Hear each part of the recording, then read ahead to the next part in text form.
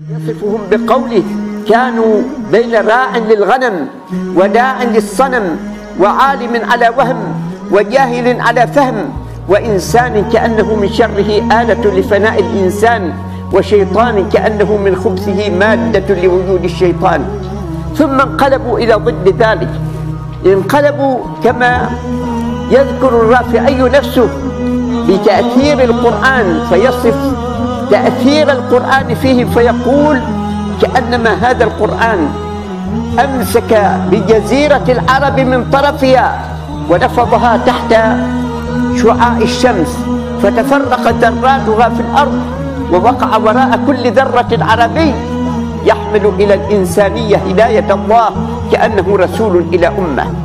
هكذا أكرم الله سبحانه وتعالى هؤلاء العرب الأميين وأكرم بهم الإنسانية فأخرجوهم من الظلمات إلى النور وامتن عليهم بأن جعلهم خير أمة أخرجت للناس.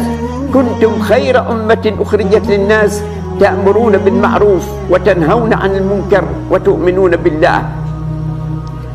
وقد جعل الله سبحانه وتعالى إعجاز هذه الرسالة العظيمة إعجازا متميزا على بقية المعجزات التي جاء بها الأنبياء من قبل.